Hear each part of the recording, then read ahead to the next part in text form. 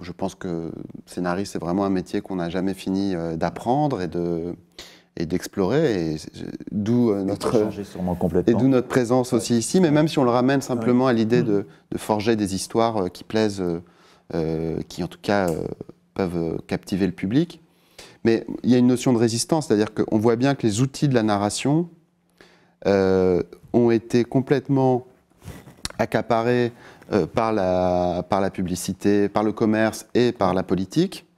Euh, est-ce que c'est nouveau? Ça, j'en sais rien. Peut-être que c'est comme ça depuis la nuit des temps.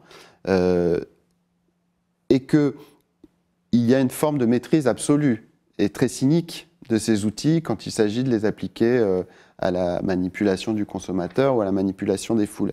Et nous, qui utilisons aussi les mêmes outils, on serait pur que si on les, que si on les ignorait, que si on faisait ça de manière euh, euh, presque instinctive. Et là, ce serait.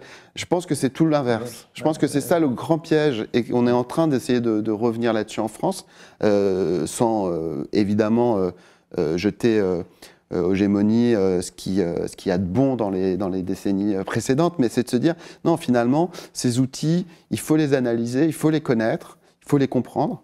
Euh, pour les utiliser. Euh, après, il s'agit de, les utiliser à bon escient. Mais en tout cas, il faut, il faut résister avec les, avec les armes, sinon on part perdant, évidemment.